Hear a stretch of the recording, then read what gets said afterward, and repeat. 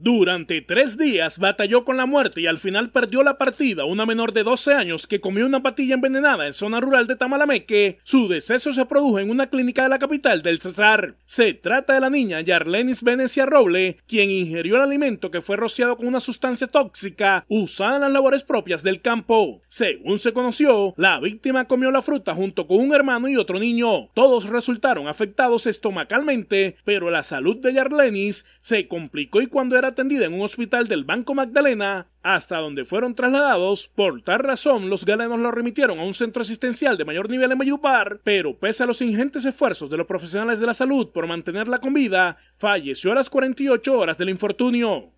Los familiares de la fallecida aseguraron a las autoridades competentes que el cultivo hace tres meses no se fumigaba y que la menor no estaba en ningún tratamiento médico ni presentaba enfermedades de base. La inspección técnica del cadáver quedó a cargo de miembros del Cuerpo Técnico de Investigación de la Fiscalía, quienes luego lo condujeron a Medicina Legal, donde realizaron la necropsia de rigor.